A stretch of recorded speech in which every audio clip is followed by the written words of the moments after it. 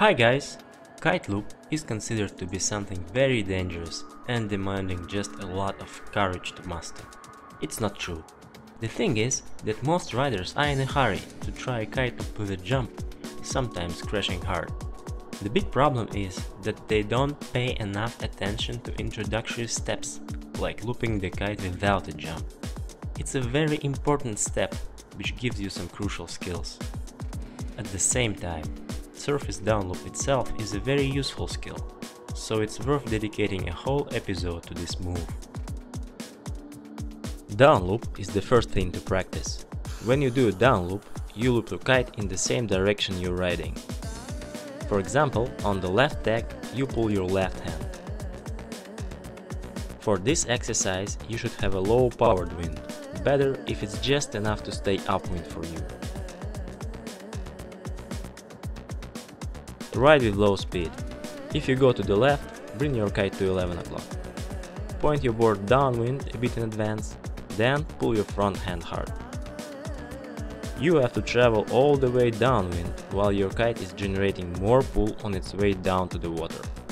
When the kite starts to go back up, the pull will be gone and you should start to edge again in order to keep tension in your lines.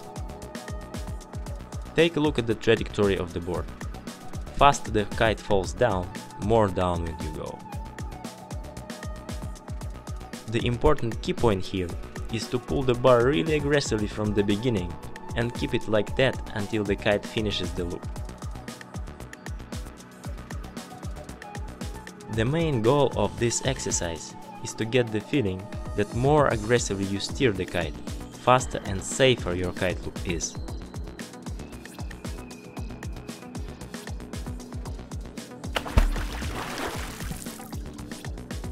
You let go of the bar in the middle of the loop and your kite hits the water. You've got used to let go of the bar in case of any danger. With kite loops it's different. Never, never let the bar go in the middle of the loop if something goes wrong. In this case, the kite stays in the center of the wind window heading down without steering, causing a hard crash. Keep pulling the bar as hard as you can to get away safely.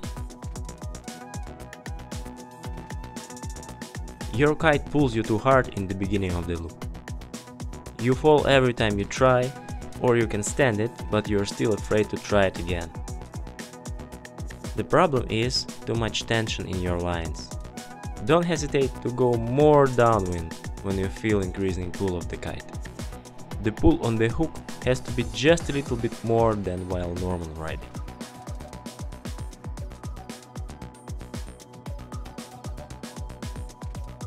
Once you've got familiar with the down loop, try to experiment with the radius.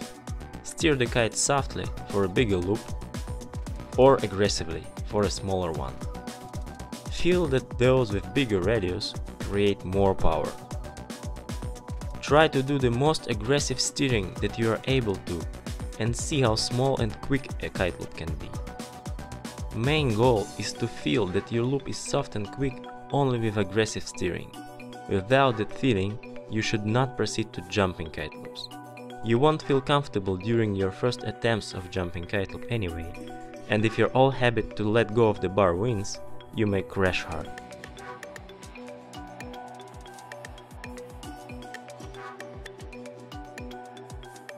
Down loop is not just an exercise. Using it in some situations is one of those things that help to tell a beginner from an advanced kiteboarder. You can use a down loop to do a water start in low wind conditions. With some experience, you can also try a kite loop to do a water start, looping your kite in opposite direction. Use a down loop while changing direction to add more power and to drive away without sinking when the wind is not enough. You can use a series of loops to travel downwind. Use this trick to keep your lines tensioned while going down in hard, especially in low wind conditions.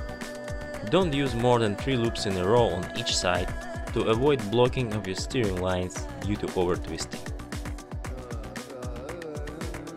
Down loop will add more style to your curving turn. Use it to get some extra power and water splash.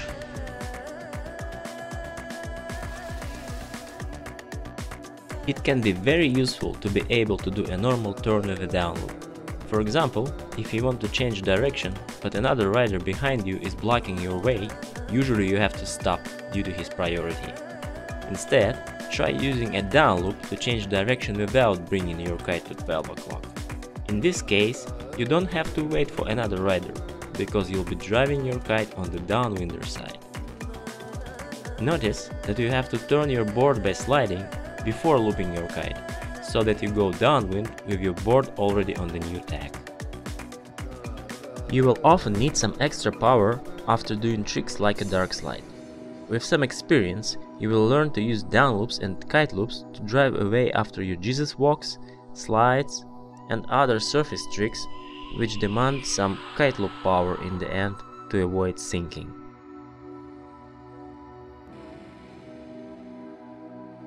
So, be sure to play with surface loops enough to really get the feeling of it, before moving further to jumping kite loops, which we're gonna work on in the next episode.